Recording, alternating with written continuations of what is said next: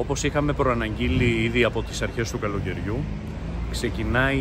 άμεσα, δηλαδή τη Δευτέρα 13 του μήνα και θα διαρκέσει για τρεις μήνες, άρα πρέπει ο κόσμος να είναι σε γρήγορση για να προλάβουμε να γίνουν οι δηλώσεις πρόθεσμα, η κτηματογράφηση όλης της περιφερειακής ενότητας Κέρκυρας, δηλαδή όλων των περιοχών που σήμερα δεν είναι κτηματογραφημένες, σχεδόν δηλαδή όλο το νησί. Είναι κάτι το οποίο αποτελεί ένα έργο καθοριστικής σημασίας γιατί θα καταγραφεί κτηματολογικά όλη η ακίνητη περιουσία όλου του νησιού. Πρέπει το έργο αυτό να γίνει με τον καλύτερο δυνατό και πιο σωστό τρόπο, ούτως ώστε μετά να μην έχουμε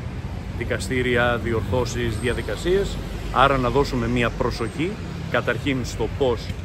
με τον καλύτερο τρόπο θα βοηθήσουμε ο καθένας με τα δικά του περιουσιακά στοιχεία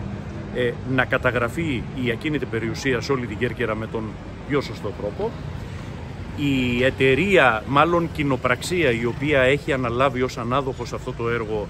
ε, ονομάζεται Γεωκαταγραφή. Τα γραφεία της βρίσκονται στο τρίτο χιλιόμετρο Εθνικής Παλιοκαστρίτσας στην περιοχή Αλικών Ποταμού και καλούμε τους συμπολίτες μας από τη Δευτέρα και μέχρι 13 Φλεβάρι, που ουσιαστικά θα διαρκέσει αυτή η σύντομη και περιεκτική προθεσμία να φροντίσουν να μεταβούν εκεί,